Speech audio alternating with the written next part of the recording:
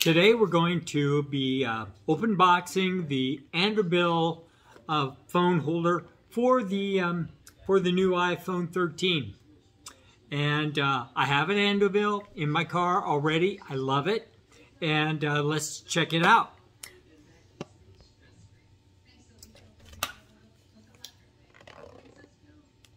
So we'll start off just like, you know, take this off.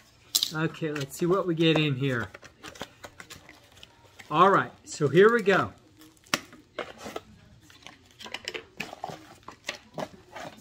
Ah, I love this. Okay, this is fantastic. Uh, you can use this if you want. I'm already familiar with the uh, with the stuff. This uh, is if your dash is not smooth enough to accept the like sticky the stick-on thing, you can just like use that two-sided tape, stick it down, and you've got a platform to roll with for that suction cup right there. Boom. Okay, so here you go. You got this arm comes out, got this ball on the end. Fantastic. That's super helpful. And here we go. This is what the holder looks like. And if you want to, this is a vent clip. So you can like actually take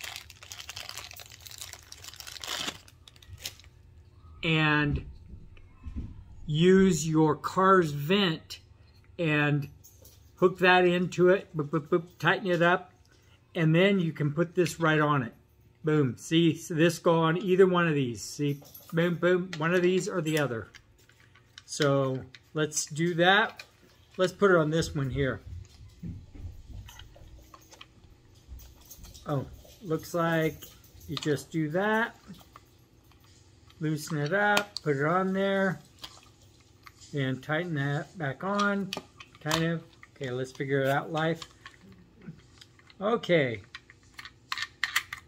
Ah, fantastic. So once you get that on there, then you are all set. You can like loosen this, put this wherever you want. Then when you want uh, to, uh, see it's already suction cup down on there.